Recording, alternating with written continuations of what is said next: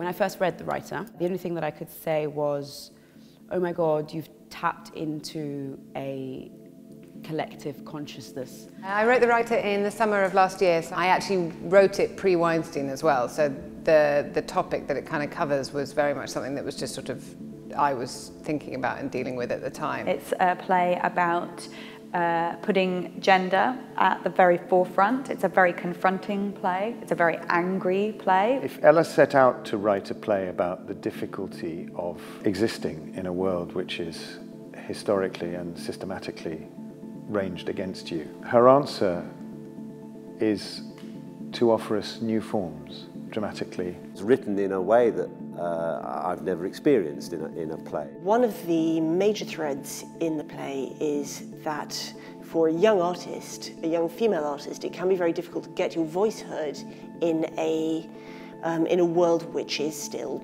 you know, which is still patriarchal.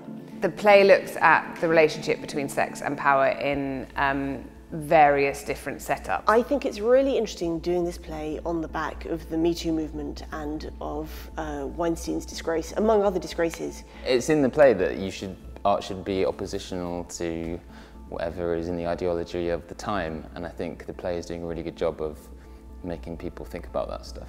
I think it also speaks really centrally to an idea of freedom, to female expression that really struggles still today.